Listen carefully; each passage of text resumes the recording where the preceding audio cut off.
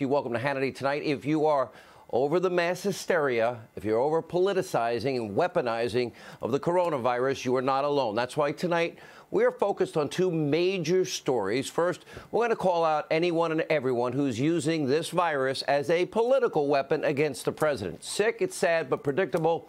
I'm sure in the end, the mob and the media, well, they will be advancing their new conspiracy theory and their newest hoax. Probably they'll come up with, hypothetically, I'm just guessing, wouldn't shock me, President Trump Putin, mad scientists in Russia, Ukraine are manufacturing the coronavirus on purpose so they can hurt innocent children and kill grandma and grandpa before they throw them over a cliff, before they feed them dog food.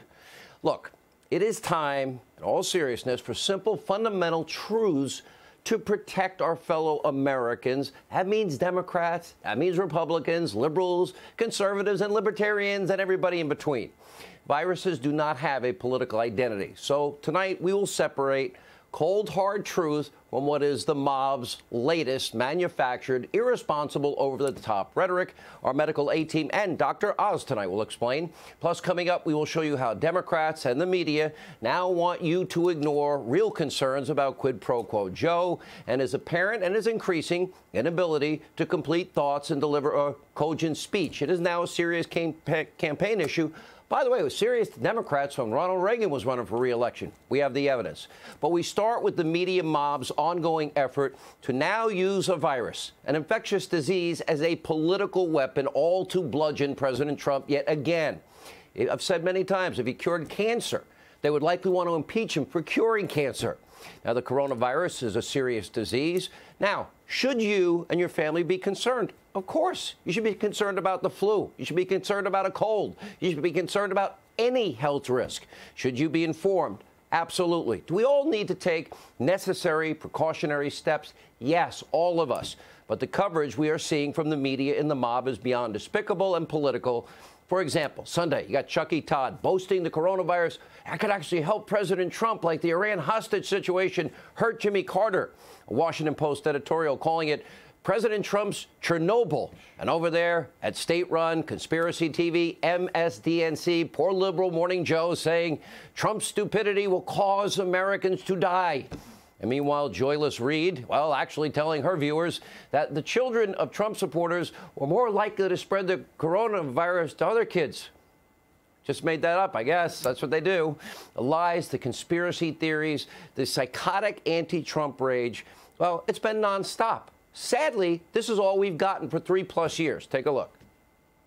What is government really for? Government is there to protect you from terrorism, for a health thing, just exactly this thing. This is exactly the function of government, and our government is screwing up. But this may be Donald Trump's Katrina. This is an event that could take down a presidency. What the Iran hostage crisis was the yeah. final year of Carter's presidency. Not his fault, but it's it's a test in real time. The president is doing nothing, uh, but but playing in his political sandbox uh, while this virus continues to spread silently across America. All right, these people sound like they really care about the country, protecting human life, or are they just looking for any and every way possible to bash President Trump? Last week's New York Times editorial spelled it out pretty clearly. They named the coronavirus the Trump virus, and they wrote, if you're feeling awful, you know who to blame. It's getting close to that lab conspiracy theory I was kind of joking about. That's how sick it is. Now, this kind of coverage has serious ramifications. Why people panic. Chaos ensues. Recently, group of shoppers caught on tape. What were they doing? They were brawling. What were they brawling over? The last pack of toilet paper. We've also witnessed a recent market sell off, although today's drop likely had a lot more to do with an oil supply battle between the Russians and the Saudis than anything corona related. But markets are skittish. Let's cut through all the hysteria and all the BS. Let's give you some simple truth and facts. Here's the Surgeon General of the United States of America. You don't believe Dr. Hannity? Let's listen to him. I'm not a doctor. People over the age of 60, they're much more likely to uh, develop complications from the coronavirus and to be hospitalized from the coronavirus. The average age of death is age 80. Now, what we also want communities to know is that if you are a child or young adult, you are much more you're more likely to uh, die from the flu if you get it than you are to die from coronavirus. So there is something about being young that is protective. We want people to be reassured by that. We want people to know that we are really focusing in on those, uh, those uh, groups that are at highest risk for complications. Now, just to recap, according to the Surgeon General of the United States, people over 60, they're most at risk for corona related complications or hospitalization. Now, the average age of mortality is 80. Young people, unlike H1N1, that tend to impact younger kids more than older people. But now, in this case, older people are much more likely to die from this uh, well, from regular flu, actually, than coronavirus, believe it or not. And remember, despite earlier reports, the likely mortality rate could be as low as 1%. Dr. Fauci was out there in the New England Journal. In the first few hundred cases of corona in China, he wrote, quote, there were no cases in children younger than the age of 15. Either children are less likely to become infected or their symptoms were so mild that their infection escaped detection. By the way, as an older person, I'd rather it be on me. Let's be honest here. Kids have their whole lives ahead of them. And it's important to remember this administration took unprecedented steps on the coronavirus, seriously, and a lot of criticism to boot.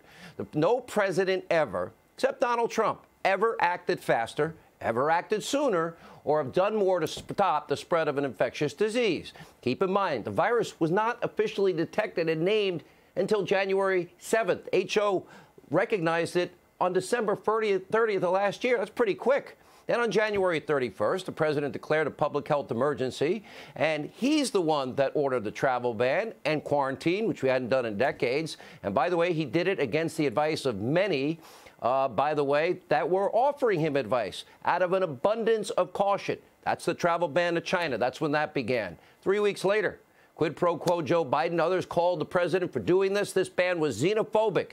Fake news, CNN suggesting the president is stigmatizing people from other countries. And for the better part of February, now, what would the Democrats do? Oh, that's right. They hardly addressed the virus at all. They were too busy and too focused on impeaching the president over nothing. Now they seem more interested in scoring what is nothing but cheap political points than actually working with the administration to protect our American family. Well, we want to protect every American life here. Today, the president asked for lawmakers help them with a payroll tax cut to ease corona related economic concerns. That is really going to help and be impactful to small business, hourly wage workers, et cetera, around the country. Well, hopefully the Democrats will come to the table and do what's right for America. Will they alleviate the economic fallout of corona, or will they do nothing to continue to use it as a political weapon? Politicizing a disease. Again, coronavirus is a serious matter. It's not the end of days. Sadly, pandemics like this happen more often than any of us would like. H1N1 worldwide killed over about a half a million people, according to estimates. The U.S. has the best doctors. By the way, H1N1, we lost nearly 14,000 Americans. We have the best doctors, the best researchers, the best scientists anyone in the, anywhere in the world, and the Trump administration will continue to aggressively stop the spread of this infectious disease. We also forget people that get flu every year. Some years, tens of thousands of people die from the flu. Every year, people die from the flu. Now, should we be smart, wise, learn things, how to be neat, clean? Not, yeah, of course. Let's protect our families, but let's do it in a thoughtful way.